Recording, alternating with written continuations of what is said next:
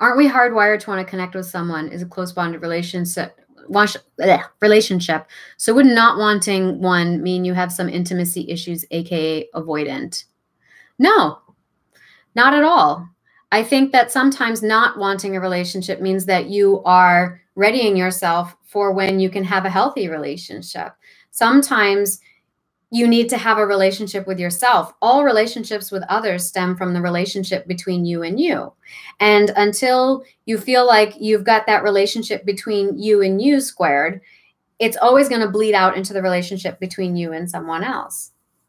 And and I'm not saying you have to be alone in order to do that. I think there are some people who temperamentally and dispositionally can do the inner journey while also being in uh, relationship to someone else having an outer journey but especially for for those who have been in, in enmeshed family backgrounds or have been in relationships where people were invasive, emotionally dismissive, domineering. Um, unless you can work that kink or that vibration, if, be an, an active process with working with that vibration after you have internalized it and made it part of your own internal makeup and dialogue, your relationships outside of yourself are always going to be a mirrored reflection of whatever that internal dialogue is going on right? So so connections with others are always an extension of the connection between you and you.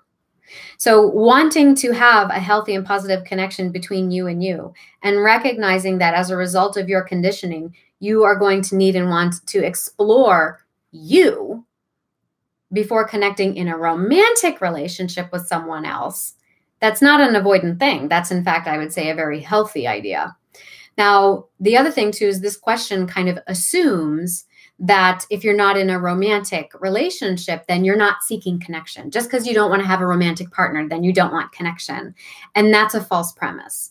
When you are having that, when you are exploring that relationship between you and you, there are tons of connections that you are hardwired to seek and that you do seek out and that you benefit from expanding community, reaching out to friends and family, establishing stronger bonds with very with close friends, um, establishing a sense of purpose and getting involved in creative works.